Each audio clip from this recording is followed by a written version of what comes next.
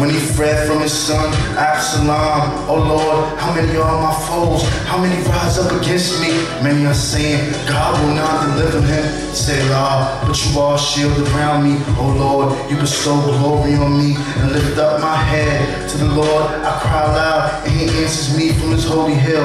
I lay down and sleep. I wake again because the Lord sustains me. I will not fear the tens of thousands drawn up against me on every side. Arise, oh Lord, deliver me. Oh my God, strike all my enemies on their jaw and break their teeth.